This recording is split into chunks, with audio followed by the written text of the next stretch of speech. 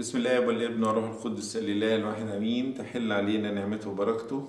من الآن وإلى أبد الأبدين آمين. حلقتنا النهارده في أسرتي أيقونة في الكنيسة. بتاخدنا لخطوة مهمة جدا في طقس سر الإكليل المقدس وهو قراءات التي في هذا السر. الحقيقة في قراءتين مهمين جدا في هذا السر. من البولس بولس رسالة بولس الرسول إلى أهل أفسس الإصحاح الخامس والقراءة الأخرى أو الثانية اللي هو الإنجيل المقدس من إنجيل معلمنا متى إصحاح 19 هنحاول النهاردة بنعمة ربنا نفهم بسرعة النقط الأساسية في المعنى اللي عايزة توصله لنا الكنيسة وتعلمه لنا من خلال رسالة معلمنا بولس الرسول إلى أهل أفسس. وهذه الرسالة الحقيقة وهذا الجزء بيتكلم عن العلاقة بين الزوجين والمحبة اللي بينهم مبنية على إيه؟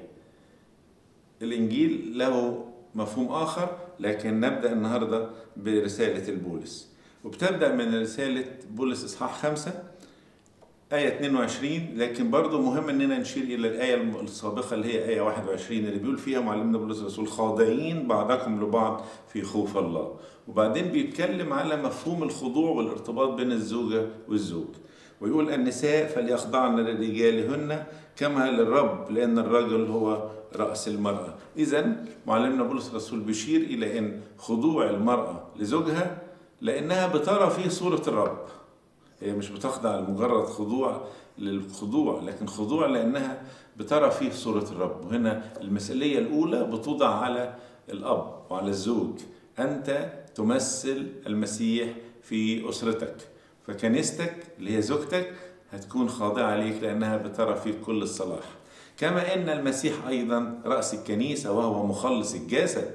إذا بياخدنا بولس الرسول مش على المستوى الجسدي أو المستوى الإنساني فقط إلى المستوى الروحي اللاهوتي اللي بيربطنا بالمسيح. مخلص الجسد. وزي بيربط دايما بين المسيح وجسده والكنيسة علشان نفهم إن العلاقة بين الزوج والزوجة على هذا المثال. هي علاقة كأنها الكنيسة وارتباطها بالسيد المسيح. ولكن كما تخضع الكنيسة للمسيح كذلك النساء لرجالهن في كل شيء. أكثر من مرة بيشير إلى أن المسيح هو مصدر الارتباط بين الاثنين ومصدر العلاقة بينهم وهو اللي يوجهها وهو اللي يبنيها. والمراقة تبقى على مثال المسيح والكنيسة. وبعدين ينتقل إلى المسؤولية الأكبر والأهم اللي خدت أكتر من مساحة أكبر حتى في الرسالة. أيها الرجال أحبوا نساءكم كما أحب المسيح أيضا الكنيسة. وبدل ما يقول الزوج اخضع لا بيقول له حب. لأن المحبة بتجعل الإنسان حتى ممكن يخضع للآخرين. المحبة اللي شرحها بولس الرسول في كورنثوس الأولى 13 بتعلمنا أن المحبة لا تطلب ما لنفسها المحبة لا تقبح المحبة لا تظن السوء المحبة لا تفرح بالاسم بل تفرح بالحق. المحبة تتأنى وترفق وتصبر على كل شيء وتحتمل كل شيء. لما ناخد المحبة دي ونطبقها مع الرجال الذين يحبوا نسائهم هنجد إن هو بذل مش بس خضوع ده في بذل كامل بين الزوج للزوجة ومن الرجل للمرأة. لأنه بيكلمه بيقول له إن المسيح أسلم نفسه لأجل الكنيسة. أسلم نفسه. هنا محبة مبنية على البذل وعلى التضحية. لكي يقدسها مطهرا إياها بغسل الماء بالكلمة. هدفه أنه يحفظ زوجته وأسرته في حالة قداسة لكي يحضرها لنفسه كنيسة مجيدة وعندما يكون الأب أو الزوج بيقدم هذا المثل والزوجة أو الأم بياخدوا هذا المثل وبيعيشوا فيه هيفرح. زي ما الكنيسة الكنيسة بتفرح قلب المسيح هكذا الأب والزوج هيفرح بزوجته وأسرته.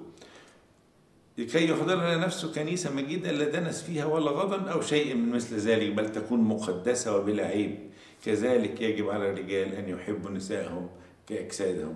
إذا ليست فكرة خضوع لأن فكرة الخضوع دي أحيانا بتتفهم خطأ عند كثير من الناس. لا دي فكرة بذل ومحبة وتقديم. من يحب امرأته يحب نفسه. إذا هنا إشارة إلى أننا بقينا واحد. فإنه لم يبغض أحد جسده قط بل يقوت ويربيه كما الرب أيضا للكنيسة. التركيز في العلاقة بين الزوج والزوجة في رسالة بولس الرسول على المحبة الباذلة على المحبة التي تعطي كما حب المسيح الكنيسة وبذل نفسه. المسيح عمل إيه للكنيسة؟ اتجسد عشانها اتصلب علشانها اتهان علشانها احتمل الآلام علشانها.